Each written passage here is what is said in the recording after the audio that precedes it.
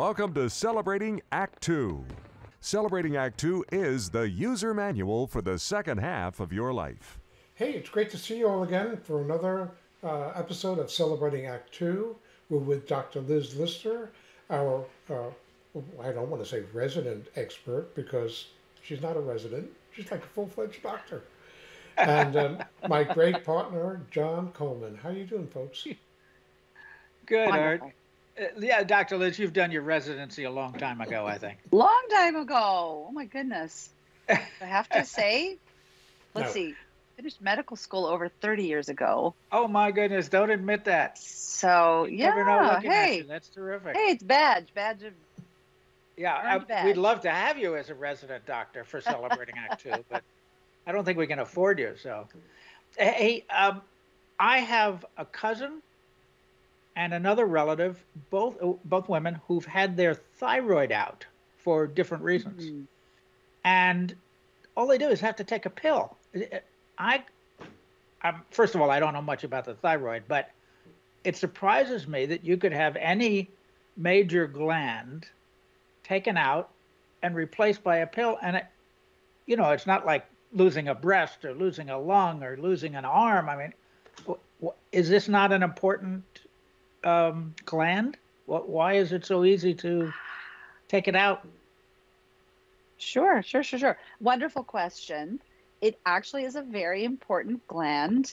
And luckily, the discoveries have been made to be able to replenish thyroid hormone either when the thyroid gland is not making enough of the hormones or if for any reason it needs to be re- removed. Okay. So when I talk, you know, you know, you guys know me, I always love to talk about hormones and the hormone side of health. And so when we talk about all the different kinds of hormones that are in our bodies, thyroid, if we compare those different hormones to the different sections of an orchestra and a symphony, the thyroid is actually the conductor. Hmm. So Aha. a person can live without their thyroid, but it's not a very nice quality of life. It's much, much better being able to, re- now now that we have all these ways to replenish the thyroid hormone in order to have the quality of life and have all of the other hormones functioning uh, at their best. They all interact with each other and they all interact with thyroid. So you said Yeah. it's, it's like a conductor. It's wh- what is it? Uh, maybe you could explain a little bit more what the thyroid does. Does it produce something that makes your hands move and makes your heart beat, or uh, or does it work in a, a different way in the body? So the thyroid is located right here. It's a little butterfly shape. Those have the lobes on either side with a little bridge across the middle. And it produces an inactive hormone, which is usually referred to as T4. We should come back to those numbers. We'll talk about those because that's another interesting feature of thyroid hormones. It has to convert into the active form, which is T3. All right. So the T that conversion happens in a few different places in the body. happens in the thyroid, in the liver, in the muscle tissue, in the brain. There are uh, quite a few different areas so that our cells then get that T3 which goes into the bloodstream, travels all around. It influences so many functions, especially essential functions to how we feel. So people who don't have enough thyroid hormone are are maybe going to feel tired their gut is not going to work well. They may feel constipated. Everything slows down. All right. So, fatigue, weight gain, constipation, dry skin, dry hair, hair loss. I'm naming all the most common ones that I can think of. There are more because thyroid hormone influences muscle function. Okay. So, for example, with our vision, all the little tiny muscles around the eyes respond, as do all the other muscles in our bodies, uh, to thyroid hormone. So if we have, if we don't have enough, which is more common in women than men, by the way, we can have any of those symptoms and more. It's kind of interesting. I um, uh, I, I didn't know that, but I have to say that um, uh, I have an annual checkup, and certainly for since I've been fifty, I literally have gone at least once a year, sometimes twice a year, and have lab work. And my thyroid never came up. Do, do they generally test for it and everything is fine so they don't tell me about it? Or do they not test for it until you come in and indicate that you've got some kind of problem that might be thyroid related?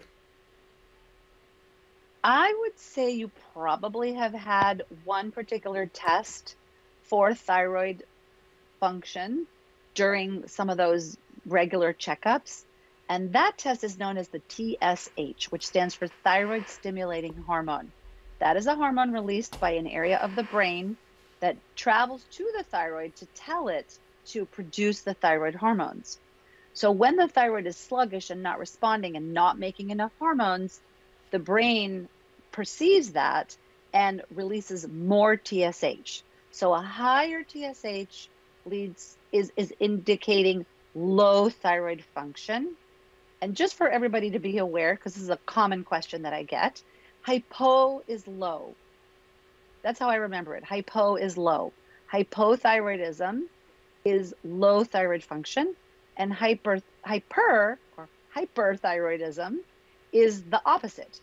Everything is over revved. People feel jittery, they feel palpitations, they get diarrhea. It's the opposite and they also just simply don't feel well. Hypothyroidism is much, much more common than hyperthyroidism. And in hypothyroidism, it's eight times as common in women as it is in men. Really? Hmm. Wow. Yes. How, how treatable is it? Extremely. Oh, Very, good. very treatable. I, I think, unfortunately, most people are treated with T4, which is usually unnamed like levothyroxine or that that type of name of that hormone. Hmm. And it is supposed to convert, excuse me, into the T3, into the active form. And it doesn't always do that effectively. So if a person is taking thyroid hormone replenishment and they're still having symptoms of hypothyroidism, it's probably not their imagination they probably need maybe a little bit of a different form of the medication or an adjustment of the dose. So it's really a, a, a gland, a hormone that affects the whole body.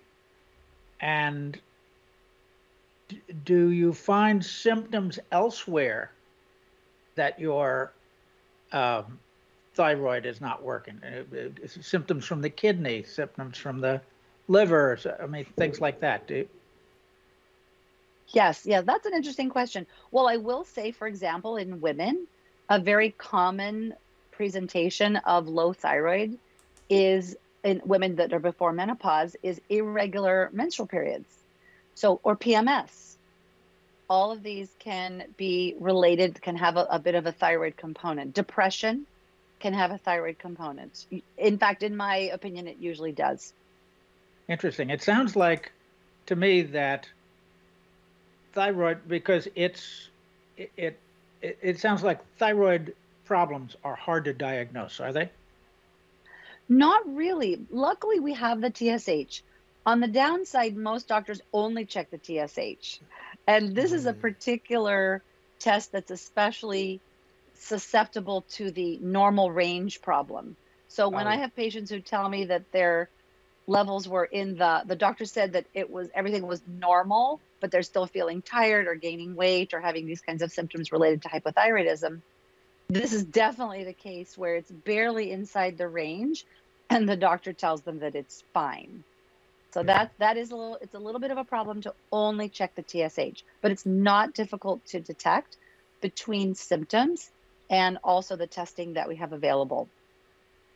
Okay, but, but um, people are probably more likely to get uh, a, a uh, recognition of their problem from somebody like you who specializes in it than from their uh, GP, who might look, oh, well, you're feeling tired and sluggish. Uh, they go down a list of things and they may try to eliminate a whole bunch of other things first before even testing for that. It's not the kind of thing that, so it's important to know that uh, being your own advocate, uh, as we, you really need to be, uh, no matter how well intentioned uh, your, uh, well, I call them GP, they call them family doctors now, I guess, uh, that your, uh, your doctor that you normally visit may not be aware of it because it's lower down the totem pole of issues. Right. So either ask Right, about it right. or or uh, contact Dr. Liz. Absolutely. I'm always happy to answer questions. I wanted to mention we talked about T4 and T3. The T4 is the inactive and the T3 is the active. The, those numbers represent the number of iodine atoms that are tacked onto the molecule. So T4 has four and it converts into the active form by removing one getting removed. So it's very important to have enough iodine. So this is kind of an interesting fact that not a lot of people are aware of at this point in time. But about 100 years ago, there was a big, big problem in this country, in the United States, with people having something called goiter. Goiter is a lack of iodine, and the thyroid becomes very enlarged, visibly enlarged. And so in 1924, the US government took it upon itself to add iodine to salt. To salt. Hmm. You mean To salt. iodized salt? You got it. That's Well, I thought exactly that right. was to prevent the salt from sticking, to the, the little grains from sticking together. No? Nope, that is why iodine was introduced and added to Oh. salt in order to treat goiter. Wow. Luckily, and it worked. It worked really, really well. Now, nowadays, Hmm. there's a trend away from iodized salt, right? Away from regular table salt. People are using Himalayan salt, the natural sea salt, that type of thing. And so I it's very common for me to see people with low iodine levels. And it's also very easy to supplement. Yeah. Yeah. Wow. Great stuff. A very, very surprising uh, look at um, something that I never really thought about before. Well, thank John. Thank you for asking me yeah. the question because the last time I thought about thyroids was this time. It's just nothing that's ever comes up. So thank you, John, and thank you, Dr. Liz. You're welcome. For more on Celebrating Act Two, visit our webpage, follow us on Facebook, subscribe to us on YouTube, and tell your friends. Celebrating Act Two is the user manual for the second half of your life.